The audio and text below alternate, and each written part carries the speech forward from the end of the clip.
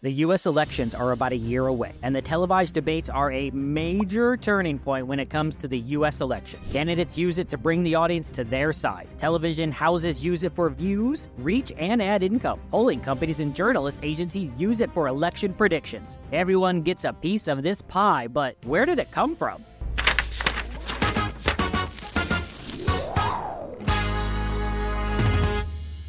Welcome to the Behind the Date. This September 26, we're rewinding the clock back to 1960 when the presidential debate was televised for the very first time. In today's video, let me tell you all about how the candidates prepared for being on TV and why there was a clear winner by the end of it, and how this debate changed the course of political studies forever. Don't forget to subscribe to keep the interesting stories coming.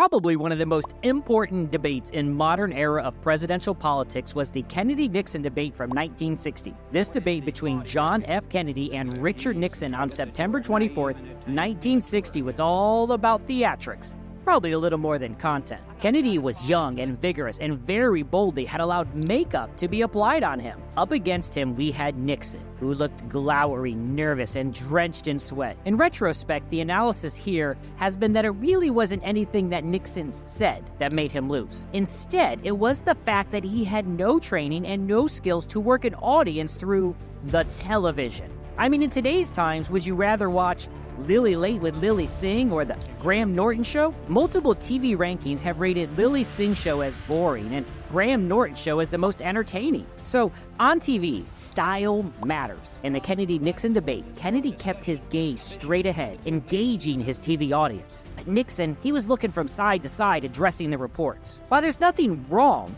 with looking at reporters, you're losing out on that connection and that bonding with the audience.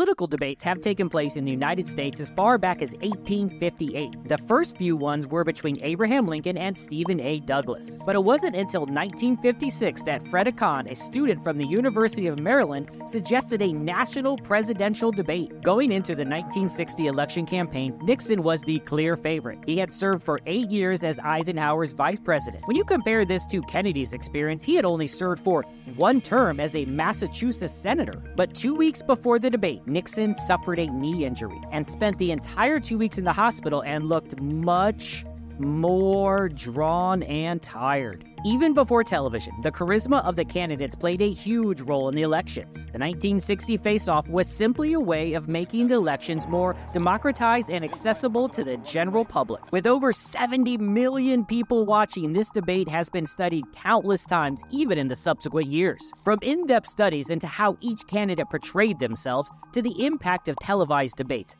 this is like a Friends episode that you keep rewatching because it's funny and deep and makes you feel amazing after.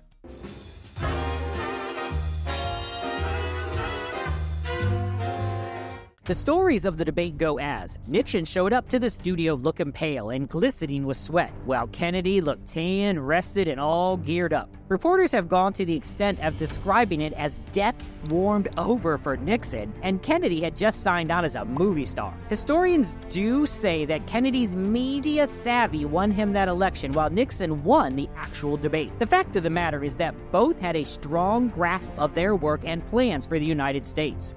Being on TV for the first time for the presidential debate was a challenge for both, but neither had any trouble articulating their perspective and their party's positions. Believe it or not, to show civility, Kennedy and Nixon shared a sleeper car while going back from the debate. The story goes that they even drew straws to see who would get in the lower berth in the sleeping car. And ironically enough, Nixon won. Today, if you rewatch the debate, you'll see how both men took a last minute direction from the production team to heart. Kennedy immediately went into the attack and criticize, and Nixon played it nice. Nixon played it so nice that he came off the opposite of his usual combative self. University studies of polls taken immediately after the debate showed no clear difference between the audience, but there was a clear indication that the radio listenership was super low. The Gallup poll even announced a virtual tie. But the myth that Kennedy blew Nixon right out of the water still persists. Talking about popular and iconic pairs, are you ready to find out about the pair that built Instagram? Say hello to Kevin Systrom and Mike Krieger and check out my next video to see how they bid adieu to their baby,